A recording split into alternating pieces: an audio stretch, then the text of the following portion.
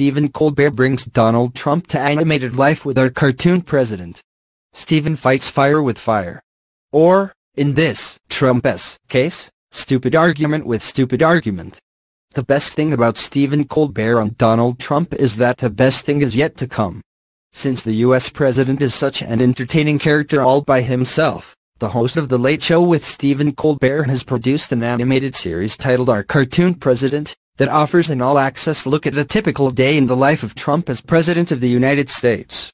The series, which premieres on February 11th, is set in the White House in a parallel cartoon universe. Colbert, of course, has been consistently laying into Trump with his trademark humor.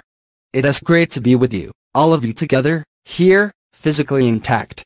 Skin still firmly on our faces, he said at the start of a recent segment video below on his show.